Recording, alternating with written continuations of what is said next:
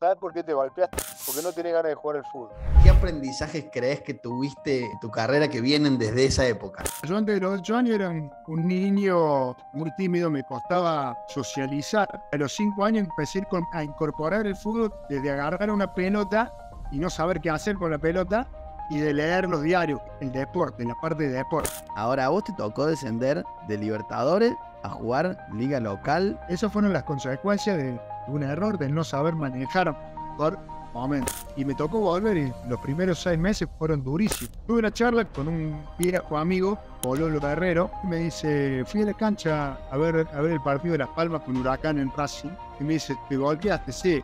¿Sabes por qué te golpeaste? Me dice, Porque no tenés ganas de jugar al fútbol.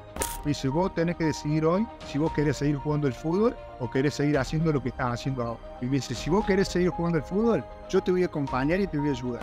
En el año 2000, me acuerdo que salimos campeón acá en Las Palmas y bueno, vino un representante y compró mi pase. Y me volvió a colocar en Belgrano porque él tenía otra relación con, la- con los dirigentes. Con el dirigente. Te dejaste ayudar.